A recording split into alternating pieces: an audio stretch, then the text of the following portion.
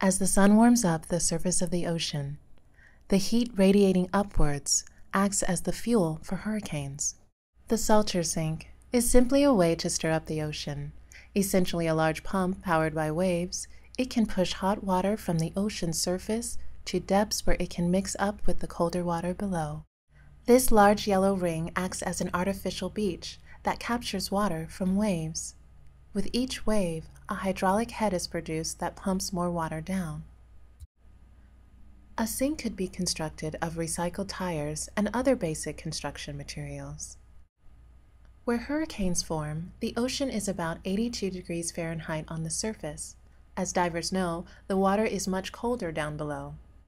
Using unlimited, free, wave energy and no moving parts, Salter sinks achieve gigawatt thermal pumping rates.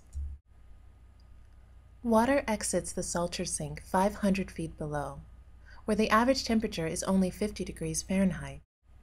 This warm water cools as it rises, mixing with the colder waters at depth. This is a simple way to perform a gargantuan task that could prevent billions of dollars in damage and save many, many lives. Thousands of Salter sinks would be needed to reduce the surface temperatures over the vast amount of ocean where these storms are formed.